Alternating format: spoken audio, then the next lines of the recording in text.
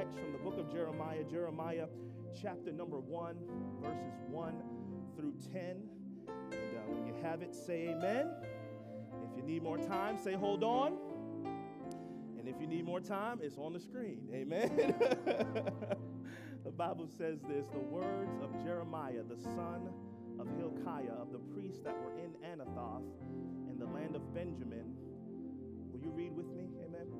To whom the word of the Lord came days of Josiah, the son of Amon. Is it on the screen? Let's start over. Let's start over. Let's start from the top. Amen. The words of Jeremiah, the son of Hilkiah, of the priests that were in Anathoth in the land of Benjamin, to whom the word of the Lord came in the days of Josiah, the son of Amon, king of Judah, in the 13th year of his reign. It came also in the days of Jehoiakim, the son of Josiah, king of Judah, under the end of the 11th year of Zedekiah, the son of Josiah, king of Judah, under the carrying away of Jerusalem captive in the fifth month. Verse 4. Then the word of the Lord came unto me, saying, Before I formed thee in the belly, I knew thee. And before thou camest forth out of the womb, I sanctified thee. And I ordained thee a prophet unto the nations. Then said I, Ah, Lord God, behold, I cannot speak, for I am a child. But the Lord said unto me, Say not, I am a child, for thou shalt go to all that I shall send thee, and whatsoever I command thee, thou shalt speak. Be not afraid of their faces, for I am with thee to deliver thee, saith the Lord.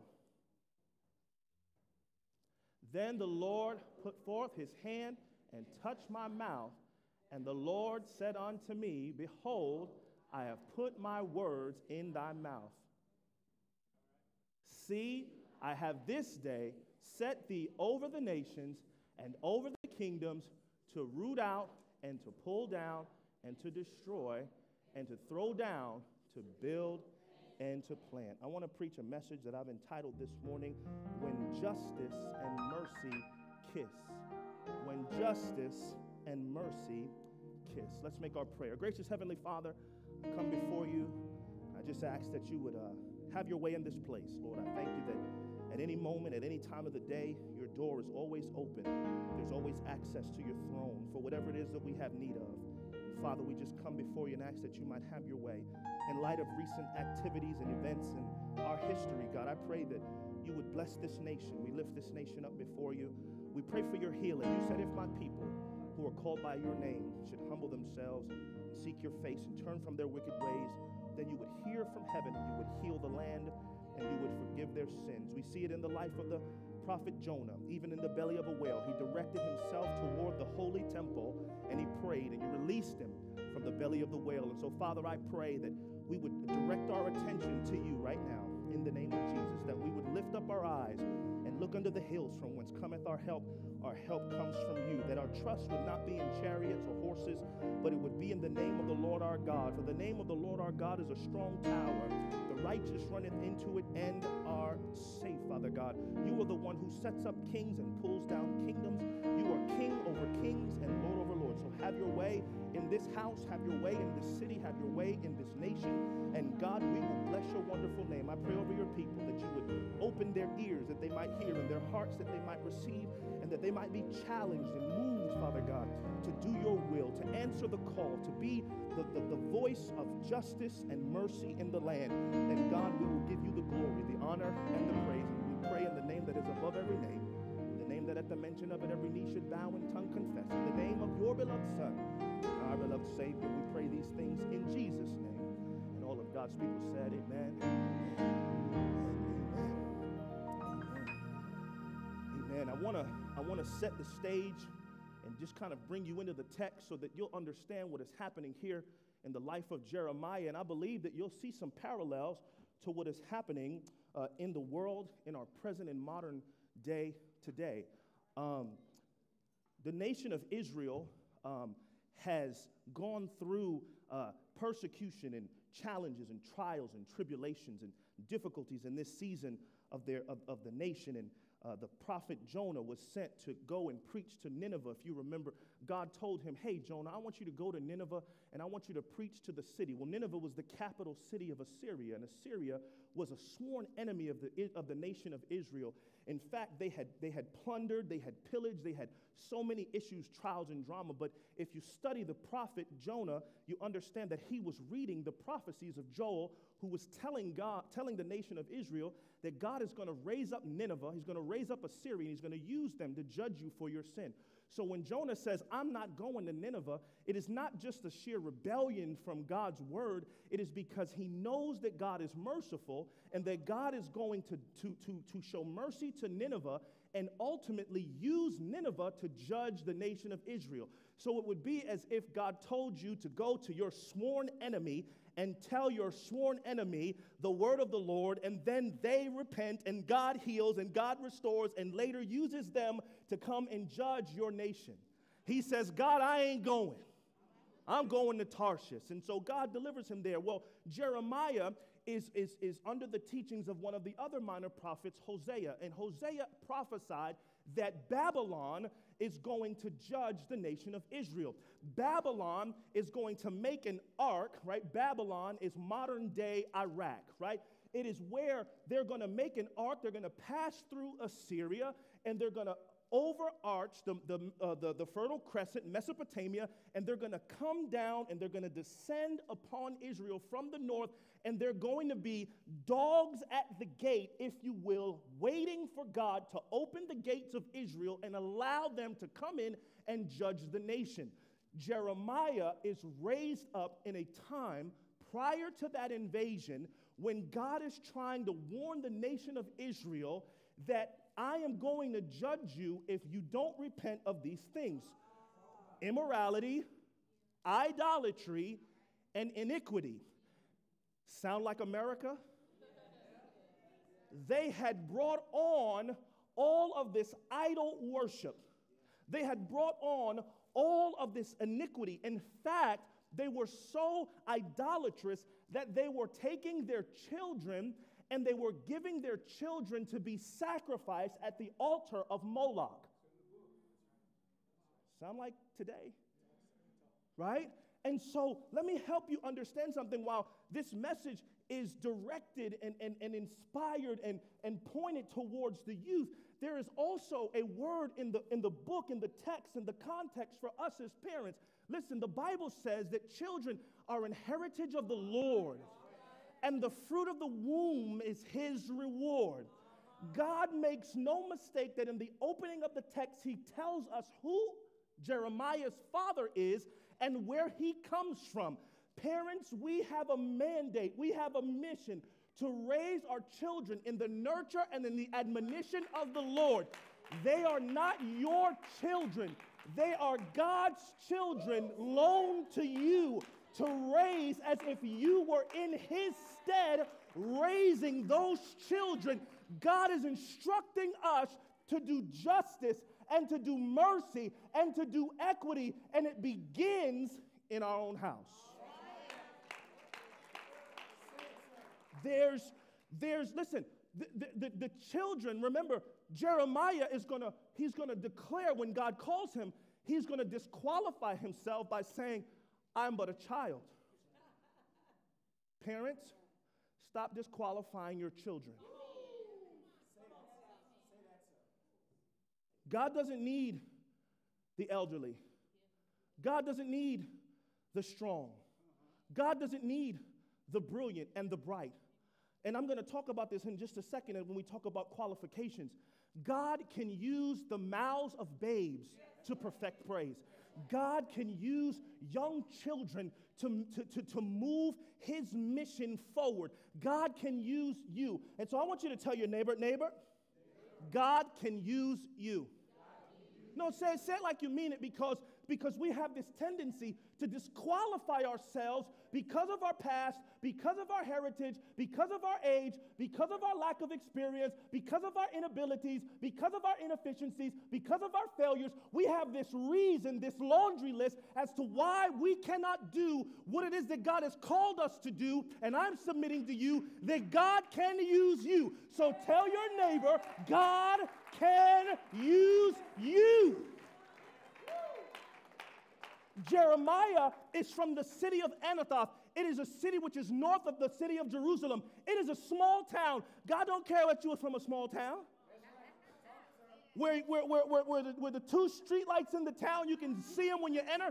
God doesn't care what city you're from. God doesn't care what family, what your lineage and your heritage is. God doesn't care how much money you have in your bank account. God doesn't care about the letters after your name. God doesn't care about your qualifications. God doesn't care about your experiences. God takes the foolish things and he confounds the wise. He takes the weak things and he confounds the strong. He takes the rich, the poor things, and he confounds the rich. God takes broken things and does beautiful things with broken things and broken people. God can use you. He can use you. Young people, God can use you. God can use you, whether it's singing, whether it's serving, whether it's preaching, whether it's playing an instrument, whether it's a doctor or a lawyer or a business owner, an entrepreneur. God can use you. And so, the first thing I want you to write down if you take notes is this term qualifications. Qualification. Qualification.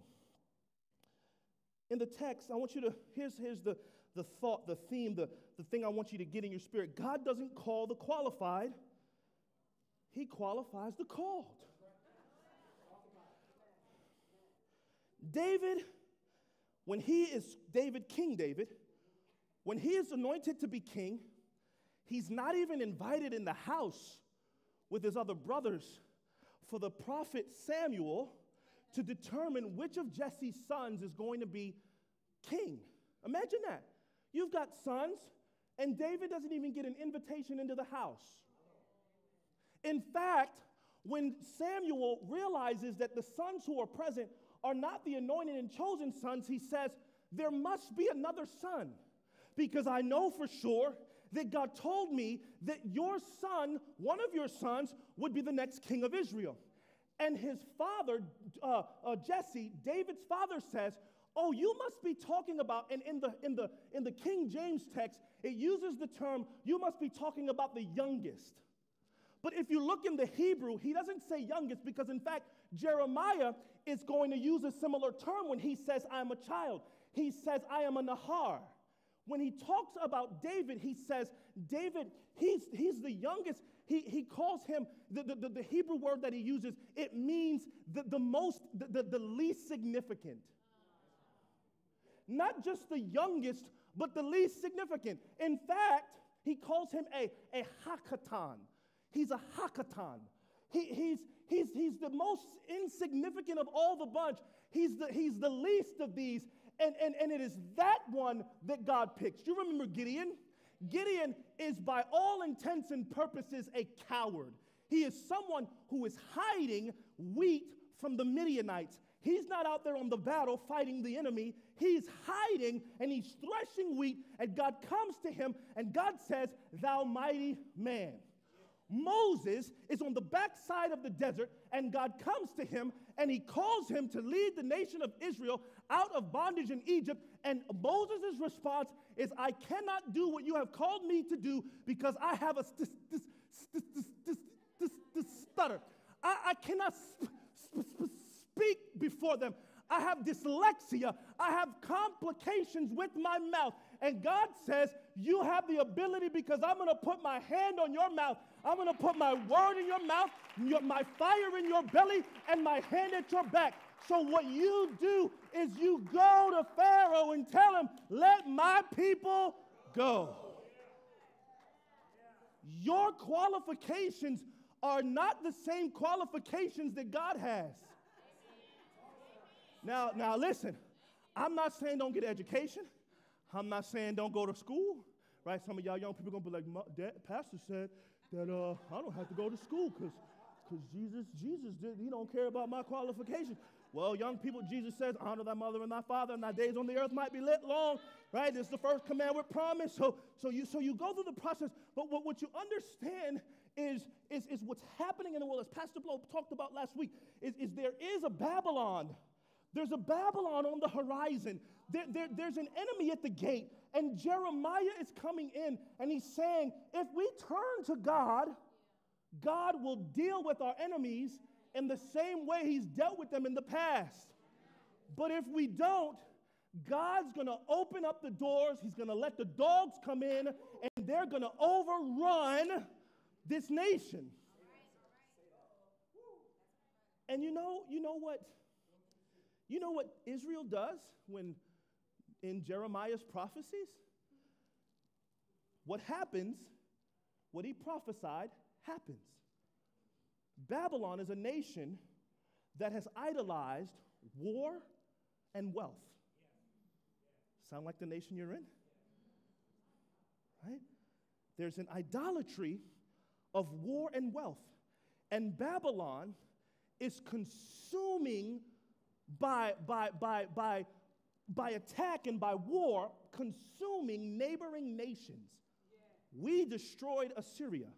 We destroyed Lebanon. We are here at your gates and we are going to come in.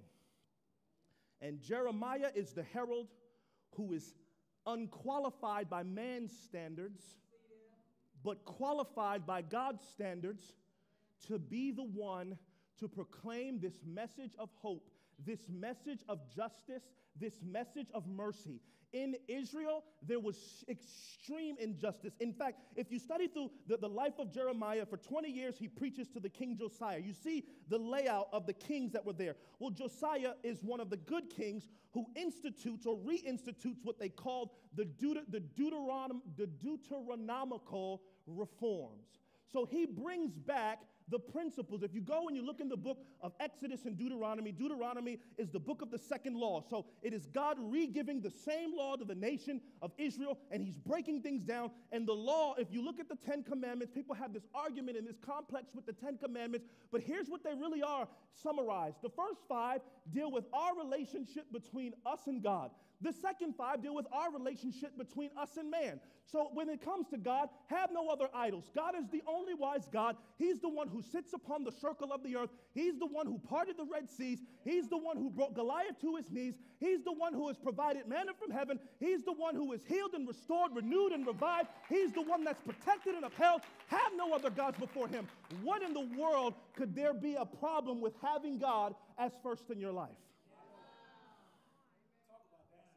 Right? Thou shalt make no graven images of heaven. Because what happens is we take that which is transcendent and we try to put it on an earthly view and we minimize its holiness and we minimize it, right? We're in a fight right now. Is Jesus white? Is Jesus black? That's the white Jesus. This is the black Jesus, right? Because we are making graven images right? And the images that we make are nothing more than an extension, an expression of ourselves. So if I'm a white person and I want to believe in a Jesus, I'm going to put forth a white Jesus. If I'm black, I'm going to put forth a black Jesus. If I'm Asian, I'm going to put forth an Asian Jesus because we're making those graven images not in the image of God, not in the image of heaven, but in our own images. What's wrong with not having graven images? What's wrong with not murdering? Thou shalt not kill. What's wrong with that? What's wrong with thou shalt not lie? What, what's wrong with those things? Right? And so, so Josiah, he institutes the, the, the, the Deuteronomical reforms to not only reestablish righteousness between God and man, but to deal with social injustice. Because the second half of the Ten Commandments relate to social injustice. It's not okay for you to kill your brother. It's not okay for you to covet what your brother or sister has. It's not okay to lie to your neighbor. It's not okay. What it does is it causes. Has anybody ever been lied to? Yes. How did it feel when you got lied to? Did it feel good? When someone, right? You've ever been scammed before? I, I was scammed one time. I was scammed. I was scammed. I was scammed. But watch this. I had to be rebuked because what, what allowed the scam to happen was, was, was me, was my proclivity, was something that was in my own life. And so I'm at the gas station, and this guy pulls up to me, and uh, he, he says, Hey, can you give me some gas? And I'm like, Yeah, sure, I'll get you some gas. He shows me his gas gauge. It's almost on E. And I'm like, Okay, great, man. That's, you know, I'll get you some gas. And he said, Hey, listen, my family and I were stranded here, and we're just trying to get back to our hometown. And uh, can, you, can you help us out? He says, Man, I got some gold, man. I'll sell you my gold. And, uh, and, and, and, and you give me the money, you take the gold, you can sell the gold or whatever. Now, listen, watch this. I've been in a, I work for a pawn shop. I've tested gold before. I know the owner of a pawn shop in Melbourne, the owner, the CEO. He owns the pawn shop. I know him. I know the, the employees of a local pawn shop here in Palm Bay. I can pick up the phone. Oh, hey, Josh, how's it going? Because I, you know, let me give you some help. Money management 101. You don't have to pay retail for stuff. You can go down to the pawn shop and you can get it on the cheap. Amen. It works just fine and it, and it does the trick. Amen. And so, and so, so, so, so, so what, what, what, what, what I, I know these people and, and, and I, I said, okay, let me drive them over to the bank and I withdraw money in exchange for this gold. And guess what, y'all? Gold was fake. Ask me how much I lost. Stop looking into things that don't concern you.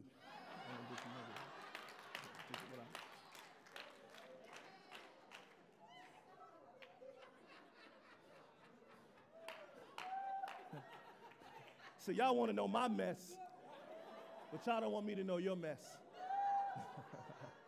right? right? And so there's social, now watch this. What happened to me was an injustice. I, I got swindled. I was lied to. I was hoodwinked. I was bamboozled. but here's what drove the, the action I thought I can get the gold and sell it for more than what I'm to give him in cash and there's my emergency fund. There's a little spending money. There's a little. That's happening in Israel. There is social injustice. Orphans are not being cared for, widows are being taken advantage of. The, the, the least of these, are, are their, their, cases are not being tried, their, their, their, their concerns are not being heard and, and, the, and, the, and the wealthy and those in power are taking advantage of a system. And, and, and, and it's not just the politicians, but it's also the religious crowd because Jeremiah is called to not only speak to the kings, but he's called to speak to the priests and he's called to speak to the people. There is mass injustice, there is mass iniquity, there, is, there are people sacrificing their children. And so God says, I don't need your qualifications. You're a young person. The young people, listen, you ever have a young person come and tell you something and what the response is? Yo, you don't know nothing. You don't know what you're talking about. Just live a little bit longer. Do you even know what a telephone is, a rotary phone is? Do you even know? Right? And, and, and, watch this. We, we have a young generation that looks at the old generation and says, You don't know what you're talking about. In fact, I know what I know where to find what I'm talking about. G O O G L E dot com. Right? So God is not God is not hung up by your qualifications. He is not he is not turned away. God is calling you. And so let me let me kind of help you get this. Regardless of your age, regardless of your stage, regardless of your background, regardless of what you call qualifications, God is still calling you. God doesn't repent of his call. There's somebody in here who is rehearsing their, their inconsistencies and their inadequacies, and God is saying, I don't care about your inconsistencies, I don't care about your inadequacies. Watch this. I accept you as you are because I know where I'm taking you. So let me help you get this. God has called all of us to salvation. He has called all of us to sanctification. He has called all of us to service in His kingdom in whatever gifting and capacity that we have. And God says, even if you feel inadequate at this time, over time, I'm going to perfect that which concerns you. I'm going to make you better at what it is that you do. So just accept the call. The second thing, the second thing is appropriation. You have qualification and then you have appropriation. Let me say this here's the anchor statement Do not take what isn't yours and place it where it doesn't belong. Let me, let me, let me say it again. Do not take what isn't yours and place it where it doesn't belong. To give you a little bit of history and uh, politics, they have what they call appropriations meetings in Congress. And their appropriations meetings, right, argued by progressives, conservatives, Democrats, Republicans, what they're arguing about is money. Watch this money that's not theirs. They're taking what doesn't belong to them and they're appropriating it to what it doesn't belong in. And so what they have, because they can't agree, right? And you've heard people talking about, oh, they're going to shut down the government. Anybody ever hear that before? So what they do is they pass what they call a continuing resolution. That continuing resolution is, hey, we don't agree. We're still going to fund these things, and we're just going to kind of kick the can down the road and deal with all the other things. Right? So you have people who will use, right, the argument of what need, what, where the need is financially and why they won't approve the, the, the appropriations bill, right? So, right, you have conservatives saying, let's build the wall, spend the money and build the wall. And you have some saying, let's fix the economy, spend the money to bring down the price of goods. And they say, well, nope, I'm not going to sign the bill because if it, fixin, it fixes inflation, then it's going to be a win for your side. No, I'm not going to sign the bill because if we fix the wall, it's going to be a win for your side. And so now they have this conflict and they take what is not theirs and they apply it to things that it doesn't belong to. Get it? Appropriation is not just applying it. Now, watch this. They make sure those things that they're arguing about don't get funded, but guess what? They still get paid. Their appropriation is when you take something that's not yours and you take ownership of it. You say, well, where is that in the text? Jeremiah is dealing with a battlefront, not only on the outer life, he's dealing with a struggle in the inner life. And let me help you understand that the same struggle he's dealing with is the same struggle that we're dealing with. And social media exacerbates this inner struggle. He's dealing with anxiety and he's dealing with insecurity. He's dealing with anxiety. Notice God says, Don't be afraid of the face of the people. Anxiety, now let me be a counselor, right? As pastors, we're, we're, we're financiers, we're, we're real estate agents, we're, we're insurance agents, we're counselors, we're therapists. And so, so, so let me help you understand anxiety is always tied to a negative outcome you are never going to have a good outcome and be anxious about it. You'll be impatient about it, but you won't be anxious about it. If I was to tell you, hey, I'm going to give you $1,000 at the end of service, you would be like, okay, hurry up, finish preaching so that you can give me $1,000 at the end of service. But if I was to use fear on the outer life, that would be a driver to, to control behavior. And so what happens is they use fear. They're gonna, the, the, the migrants are gonna take over the, the, the, the guns in the city. And what it does is it controls human behavior. So, what God is doing before He sends Jeremiah out, He has to deal with what's within. And Jeremiah doesn't need to be afflicted or conflicted with what is going on in the outside world. He needs to be able to preach the unadulterated Word of God and not be aware or concerned about the response it's going to bring from the people. And so, there's anxiety. We deal with it. We worried about the economy. But I thought God was Jehovah Jireh. We worried about sickness. People still scared of COVID. I thought he was Jehovah Rapha. Now, I'm not saying don't use wisdom, but I'm saying there should be no fear. We're worried about who's going to be the next president. But my Bible says that God is king over kings and lord over lords the Alpha and the Omega. My Bible says that the heart of the king is in the hand of the Lord, and as a river, God directs it whithersoever he pleases. My Bible says that it's God who sits upon the circle of the earth. He calls the heavens his throne and the earth his footstool. My Bible says that it is God who establishes kings and pulls down kingdoms. My Bible says that some trust in chariots and some in horses, but we will remember the name of the Lord our God. So it shouldn't matter who's going to be the president as long as God is on the throne. But we use fear to control human behavior. Here's the second thing that we face not only anxiety, but insecurity. Notice what Jeremiah says. He says, I'm a child. Social media exacerbates, and here's what, here's what the, the, the, the, the, the overwhelming messaging of the world says You're not pretty enough. You're not tall enough. You're not fast enough. You're not rich enough. You're not skinny enough. Big girl season, you're not fat enough. You don't dress the part. You don't look the part. You don't smell the part. You don't sound the part. Your skin color is too melanated. Your skin color isn't melanated enough. You don't know culture. You are too cultured.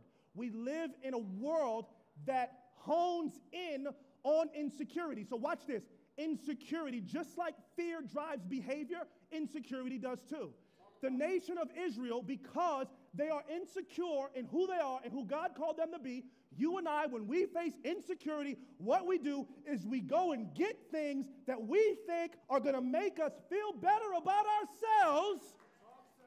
Right? We go get the lace front. We go get the Jordan, t- the sneakers. We go get the Timberlands. We go get the long nails where I don't even know how you scratch your head or do anything else with. We go, we go and get the Louis Vuitton. We go and get all kind of stuff because we want to feel good about ourselves. And what happens is that thing that gives you value becomes your God.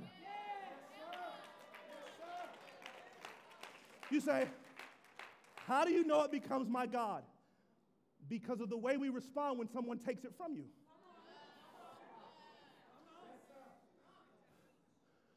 You won't take my president.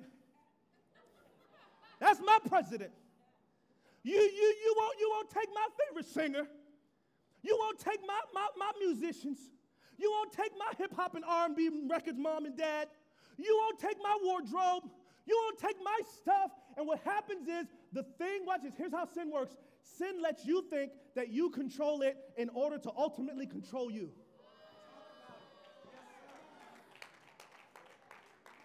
Now, watch this.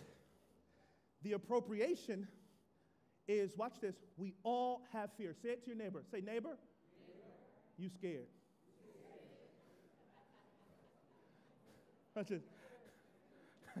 You say, what about the song that says, I ain't never scared? What? I ain't never scared.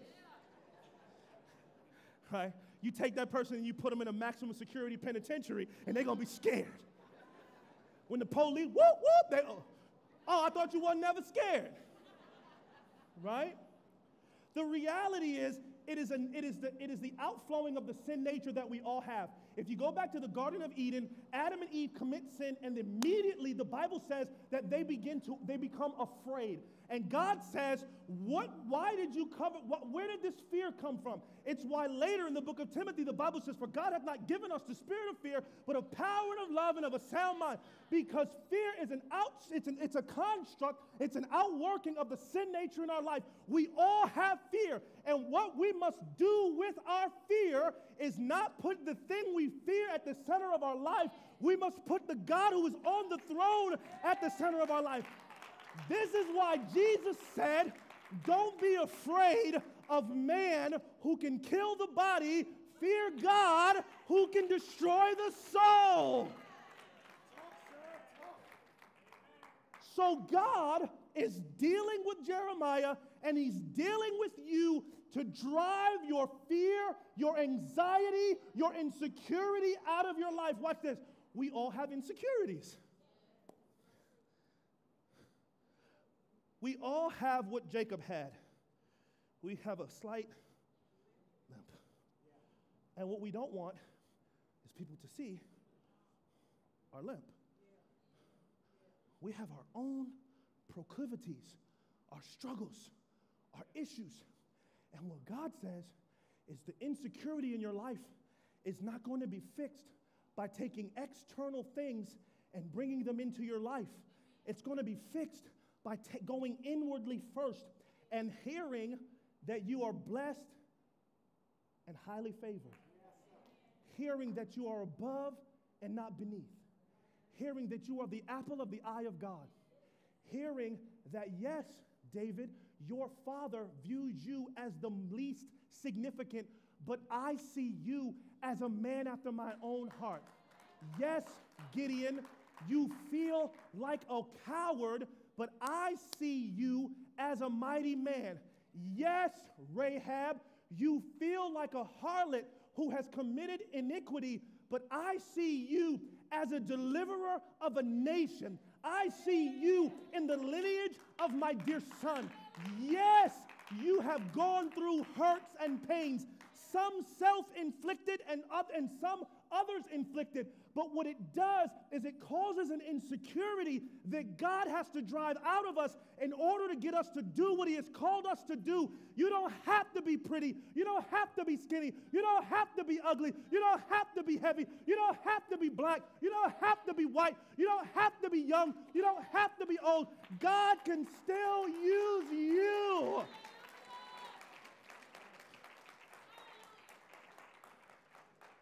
Some of us have checkered pasts. Some of our checkered pasts are worse than the other person's checkered past.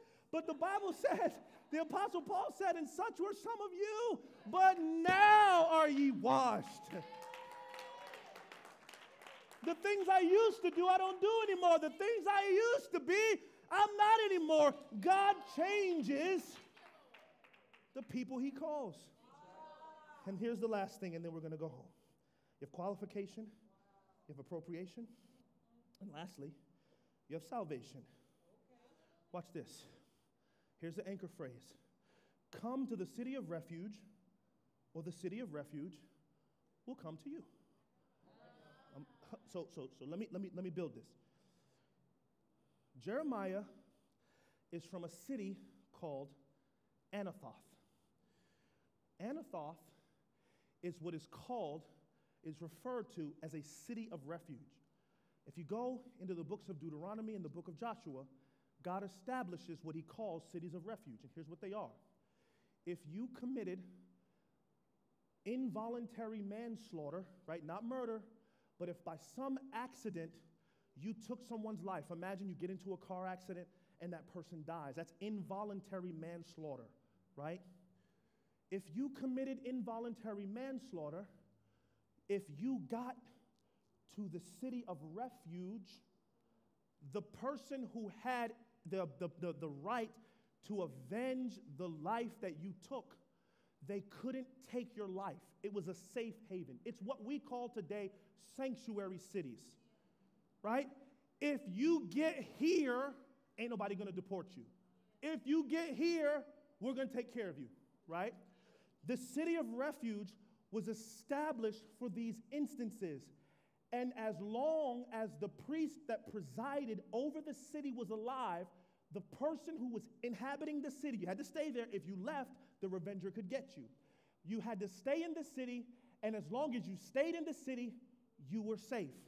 And that, that, that charge would be dismissed once that priest died. Watch this. You're going to like this. Jesus is the city of refuge.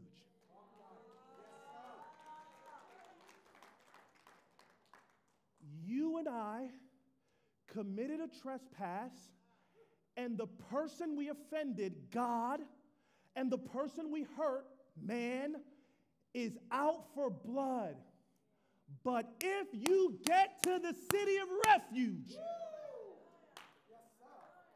you are, as they say in baseball, safe. Watch this, watch this. You're going to like this even more. You had the responsibility prior to Jesus to get to the city. In the New Testament, the city of refuge comes to you. You say, prove it in the text. Jeremiah is from a city of refuge. His father is the priest of the city. And God calls him to send him to the nation of Israel to bring the city of refuge to them. So watch this.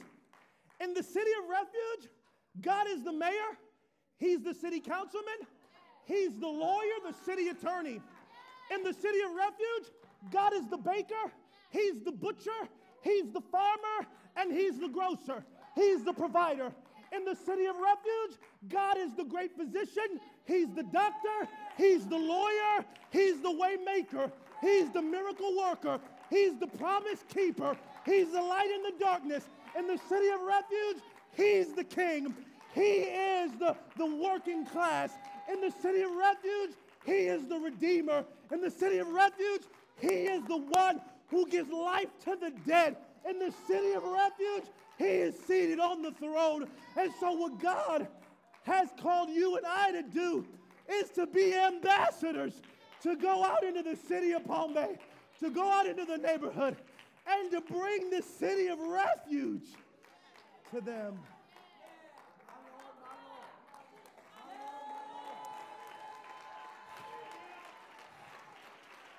Hallelujah. Hallelujah. Hallelujah. Hallelujah. God, you're worthy. Hallelujah.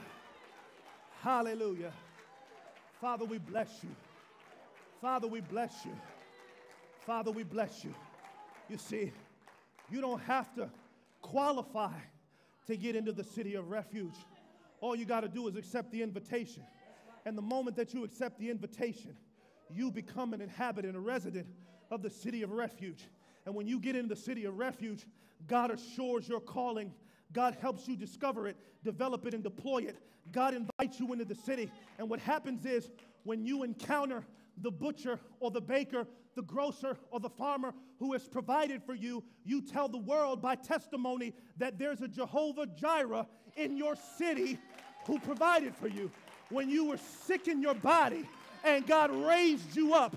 He was the great physician.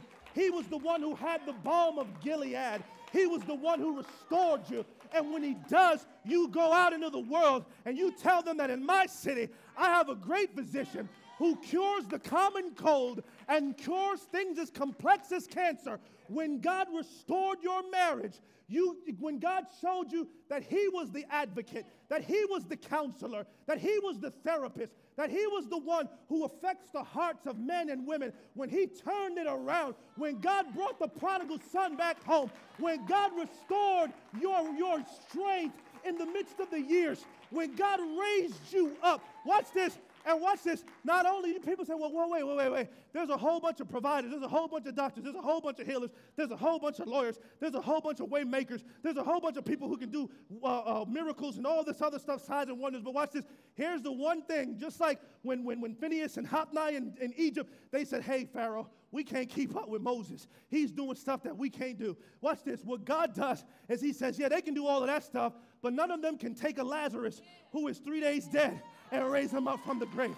None of them can lay down their life and die on a cross for the sins of the world, and then three days later decide that they're going to pick that life back up, that they're going to overcome death, hell, and the grave, and they're going to come walking out of that tomb. None of them can pass into the heavenlies. The Bible says, For we have not a high priest which cannot be touched with the feeling of our infirmities, but was likewise tempted in all parts just as we are, yet without sin. We have a high priest who is the priest, watch this, who resides over the city of refuge.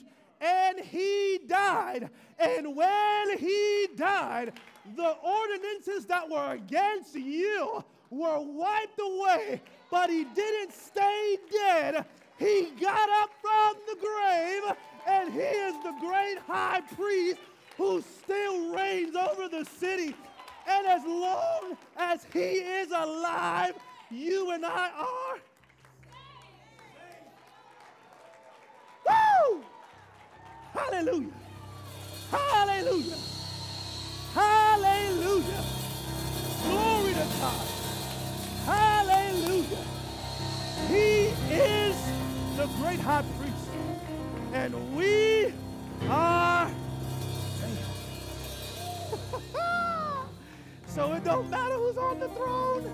It don't matter who's in the White House. It don't matter who's the banker. It don't matter who's the mortician. God is on the throne. Yes. And he is alive. And we are. You see, it's in the city of refuge that justice, what we deserved, God shows us mercy. And it's in the city of refuge that judgment, God takes his wrath out on himself instead of taking it out on you.